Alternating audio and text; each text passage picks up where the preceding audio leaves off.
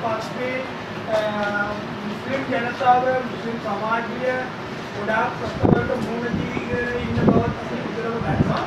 ඒ සම්බන්ධව මේ දිස්ත්‍රික්කයේදී මානව හිමිකම් සම්බන්ධව அஹ் இந்த சந்திப்பை ஒழுங்குபடுத்தினது அஹ், அஹ், நோக்கம் என்னென்றாலும் அஹ், முக்கியமாக இப்போ இந்த கடந்த நாங்கள் பார்த்தோம்னா ஒன்றரை மாதத்தில் வந்து நாட்டில் வந்து அவசரகால அவசர கால சட்டம் வந்து இருக்கிறது அதுக்கு அந்த தற்கொலை குண்டு தாக்குதலின் பின்பு வந்து இங்கே வந்து என்ன சொல்கிறது சமூகங்களுக்கிடையே விரிசல்கள் பிரச்சனைகள் ஏற்பட்டன.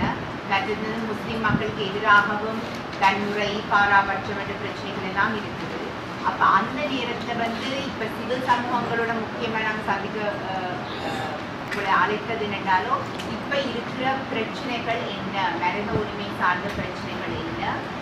மற்றது சிவில் சமூகங்களாகிய நீங்கள் வந்து எதிர்கொள்ளும் பிரச்சனைகள் என்ன? இந்த என்ன சொல்றது இந்த சுச்சுவேஷன்ல வேலை செய்து நீங்க எதிர்கொள்ளும் பிரச்சனைகள் என்ன?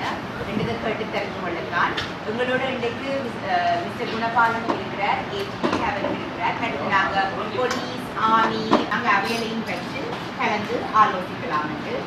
நாங்க வந்து துறங்கத்துக்கு முதல்ல வந்து